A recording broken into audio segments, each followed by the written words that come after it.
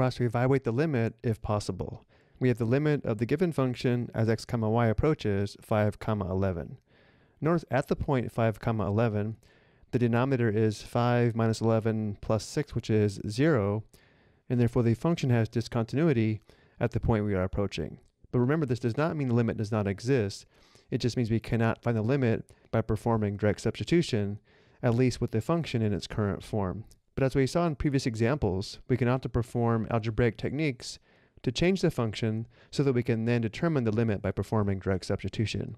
And this is another example of one of those functions where we can factor, simplify, and then find the limit by performing direct substitution. Looking at the numerator, we have a difference of cubes, and therefore we'll begin by factoring the numerator. The difference of cubes formula is shown here below, where in our case, a is equal to x minus 8, and b is equal to y minus 14. So starting with the original function, we will factor the numerator,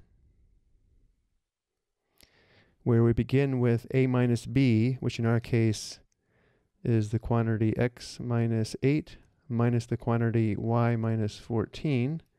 And then we have times a squared, which in our case is the square of x minus 8, plus a times b, which is plus the quantity x minus 8 times the quantity y minus 14, and then plus b squared, which in our case is the square of y minus 14. The denominator stays the same. And now let's simplify this first factor in the numerator.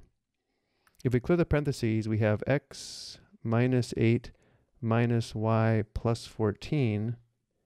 And notice negative 8 plus 14 is equal to 6, leaving us with x minus y plus 6, which is also a factor in the denominator. And therefore, we'll be able to simplify. Let's go ahead and rewrite this. The first factor is now x minus y plus 6 We'll leave the second factor in its current form. And again, we can now see we have a common factor between the numerator and denominator. The quantity x minus y plus 6 divided by itself simplifies to 1. And now I can use this simplified function to determine the limit of the original function.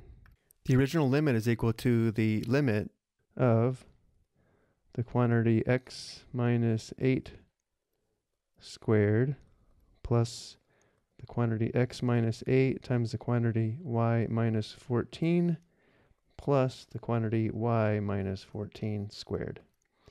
In performing direct substitution, we have the quantity 5 minus 8 squared plus the quantity 5 minus 8 times the quantity 11 minus 14 plus the quantity 11 minus 14 squared, which is equal to the square of negative 3 plus negative 3 times negative 3 plus the square of negative 3, which is equal to 9 plus 9 plus 9, which is equal to 27. The given limit is equal to 27. I hope you found this helpful.